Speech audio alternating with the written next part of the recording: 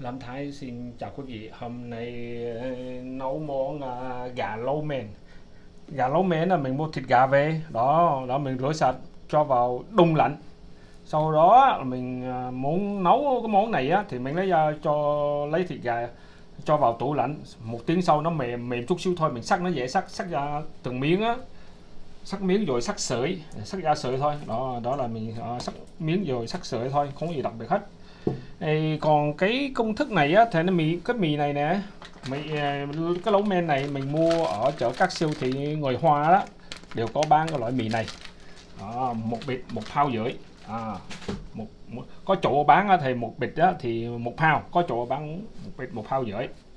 À, còn cái công thức này á thì mình làm cái xì dầu này cái xì dầu á là 3 ao xì dầu. À, 4 ao. Nước. Đó. À, hai muỗng cà phê đường. À, một muỗng cà phê bột nêm gà hoặc bột ngọt. Tùy quý đây là một muỗng cà phê à, xì dầu đen black soy sauce đó.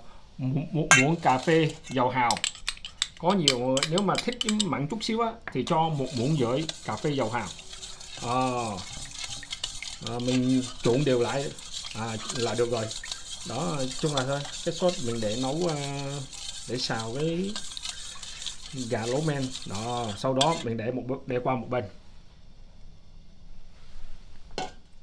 À, cái cái cái à, cái mì này á thì sau đây mình chia là hang. Mình bắt nước sôi cho vào lộn. Đó nước sôi này.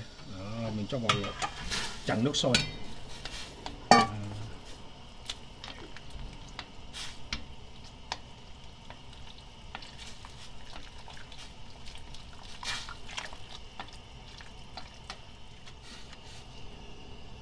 À, mình mình ờ, chặn nước sôi khoảng 2 phút thôi là được rồi.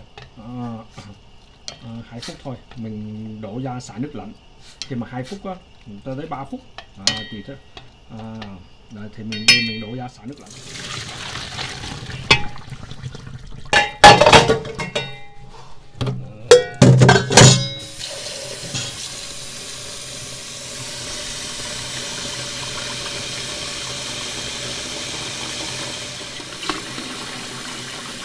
À, sau đó mình à, ráo khô.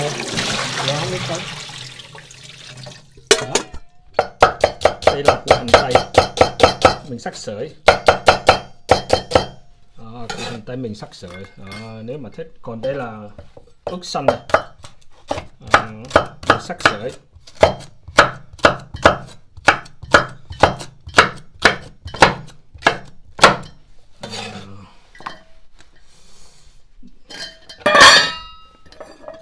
đây là ức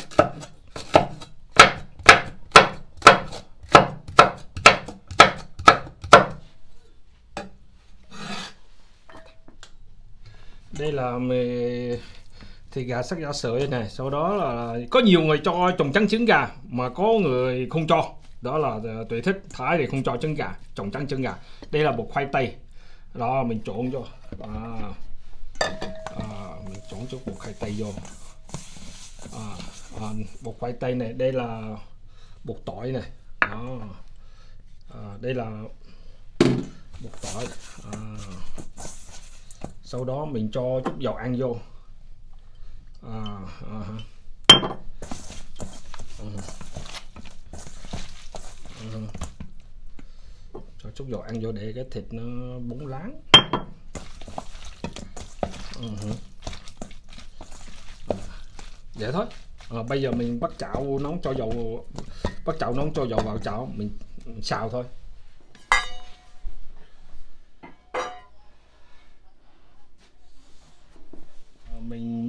Bắt chảo này nóng này cho dầu vào chảo đun nóng này bây mình bắt chảo dầu nóng rồi này mình cho gà vào.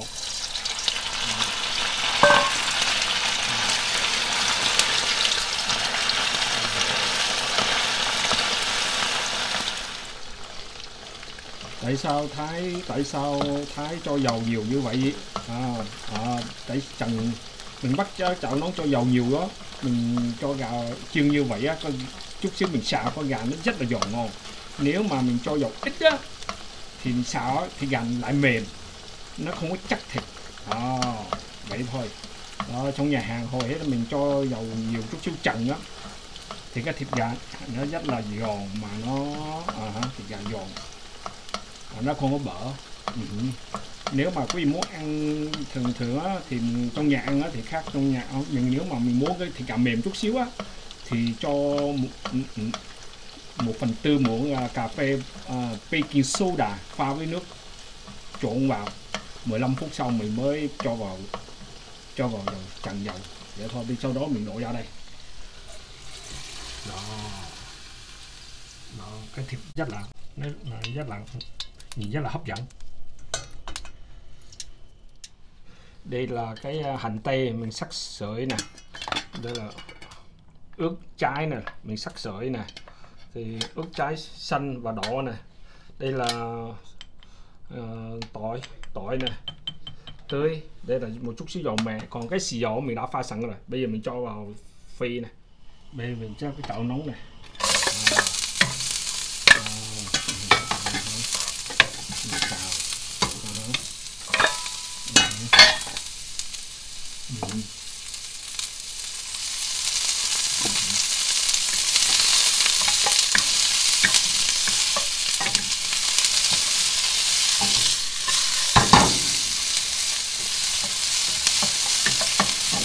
đơn giản vậy là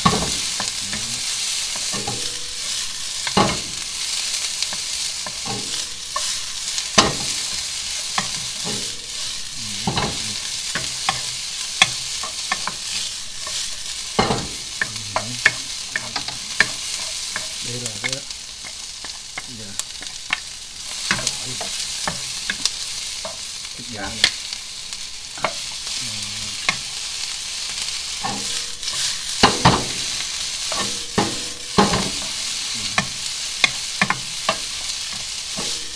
cái thịt cái thịt gà này mình trần dòng nóng á, thì khoảng 2 phút.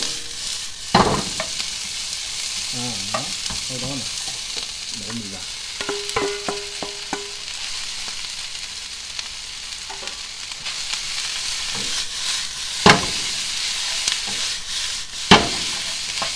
Thích ăn cái gì thích cái gì thì bỏ nhiều ngày bỏ hành lá sắn bỏ đó củ cải đỏ sưởi tất củ cải đỏ sưởi. Chị thích cái gì muốn ăn cái gì thì bỏ cái đó thôi không quan trọng là ô bắt buộc phải cái này cái kia.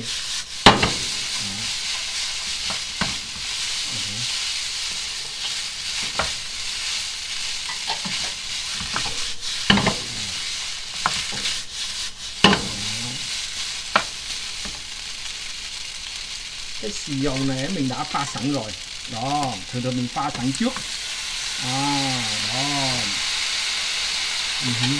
mình trộn lại rồi. Mình pha sẵn trước. À, để thôi đó. đó. men uh -huh. Uh -huh. À, bỏ chút tiêu trắng. Hoặc tiêu đến. Không có quan trọng gì hết. Sau đó là um, một chút xíu dầu mè thôi. À, đảo. Được rồi được rồi. Đó để cho được thấy chưa đây là mì xào mì xào, mì gà lâu men. Đó, không cần bí quyết, ai cũng làm được. Nếu mà quý vị thích cái món này, xin vui lòng bấm kiên hoặc là đăng ký. Bấm subscribe cho Lâm Thái. Xin cảm ơn quý vị theo dõi chương trình tiền sâm cooking của Lâm Thái. Xin cảm ơn quý vị rất nhiều.